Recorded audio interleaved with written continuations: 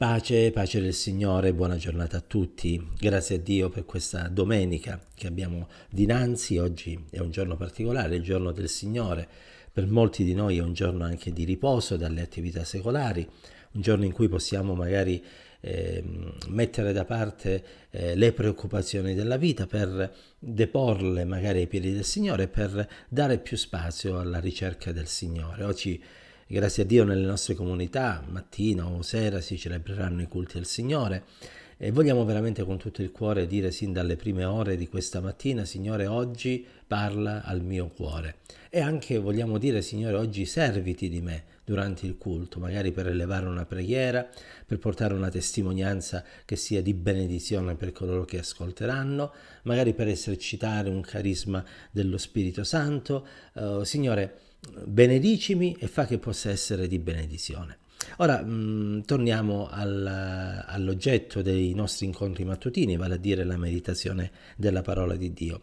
E stamattina leggeremo un bel po' di versi, mh, mm, capitolo 2 degli Atti, siamo, leggeremo i versi da 5 fino a 36, dove è riportata la prima predicazione neotestamentaria. Sarà Pietro che si alzerà in piedi insieme agli undici, che alzerà la voce e comincerà a parlare a quelli che erano lì presenti.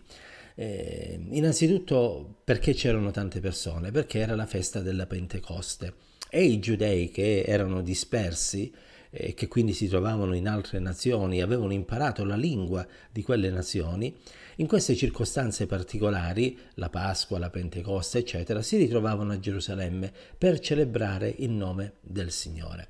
E io credo che anche noi stamattina lasceremo le nostre case per andare in chiesa, eh, nel locale di culto e magari ci dovremo anche spostare di paese, ma vogliamo andare con questo desiderio, con questo scopo, quello di celebrare il Signore.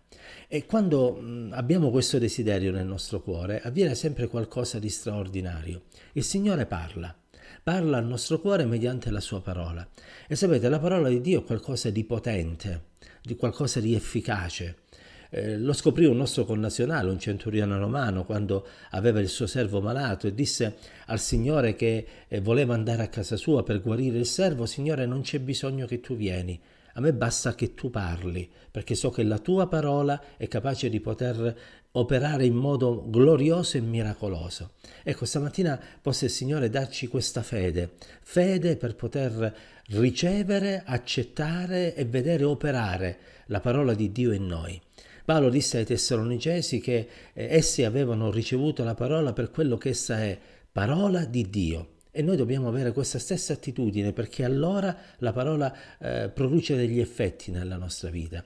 Eh, stamattina magari il Signore vuole proprio chiamare te a servirlo in un modo nuovo, in un modo più impegnato e lo farà mediante la sua parola, come avvenne nella chiesa di Antiochia quando lo Spirito Santo disse mettetemi da parte Barnabé e Saulo per un, un, incarico, per un mandato, che, per un lavoro che ho preparato per loro. Magari il Signore stamattina eh, vorrà mediante la sua parola portare guarigione nel tuo cuore, nella tua anima, forse hai delle ferite che ti stanno lacerando e Dio vuole guarire queste tue ferite, o forse vuole proprio intervenire sul tuo corpo e liberarti da qualche malattia che ti sta tormentando.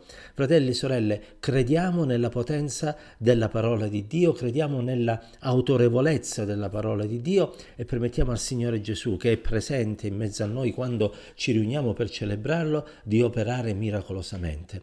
Io spero che stamattina nel partire dalle nostre case ci rechiamo in Chiesa non per assistere, ma per offrirlo al culto, non per tornare nelle nostre case come siamo arrivati, ma per poter tornare toccati da parte del Signore.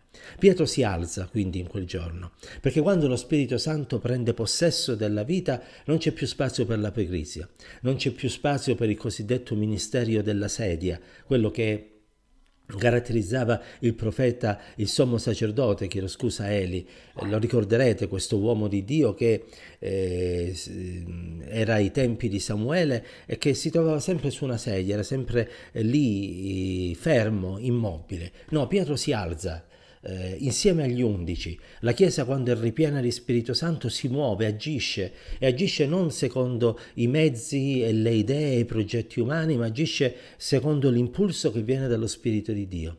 Credo che il mondo di oggi abbia bisogno di una Chiesa che si alza e che annunzia l'Evangelo con franchezza come Pietro fece quel giorno. È vero, noi siamo timidi per natura, possiamo essere anche poco capaci, ma non importa, quello che importa è che lo Spirito di Dio abbia libertà di guidare la nostra vita. Pietro non era un granché da un punto di vista umano, era un semplice pescatore, anche timoroso e timido. Lo vediamo qualche giorno prima rinnegare il Signore davanti ad una serva che chiedeva se lui era uno dei dodici. Ora non ha più paura, ora è franco, ora è determinato, è convinto, è deciso. È l'opera della grazia, è l'opera dello Spirito Santo.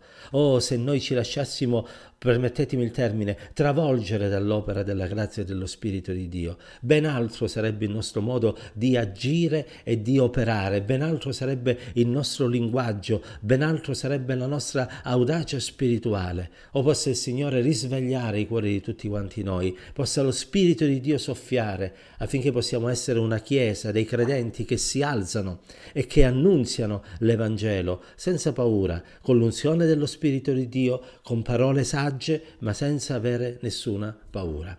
Fino a poco tempo prima le persone che erano lì presenti eh, avevano preso in giro quelli che parlavano in lingue perché pensavano che fossero pieni di vin dolce, anche se altri erano incuriositi da quello che stava avvenendo.